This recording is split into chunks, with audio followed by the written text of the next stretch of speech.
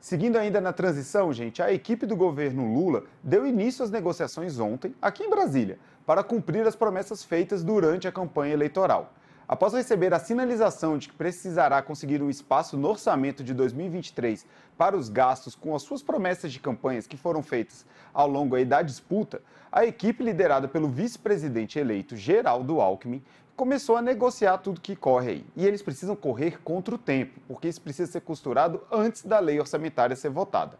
E a ordem é trabalhar para manter o Auxílio Brasil, que pode voltar a se chamar Bolsa Família, em 600 reais reajustar o salário mínimo além da inflação e isentar do imposto de renda quem ganha até 5 mil reais por mês.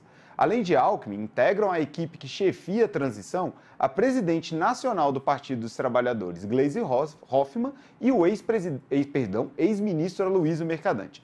Além de tratar desses três pontos principais, também foram discutidos a recomposição do farmácia popular, o pagamento do piso salarial para enfermeiros e a adequação da merenda escolar.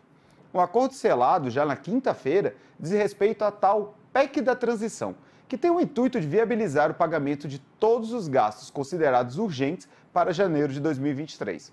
O valor, no entanto, ainda não foi calculado, mas há estimativa de remanejamento de cerca de 200 bilhões na peça orçamentária.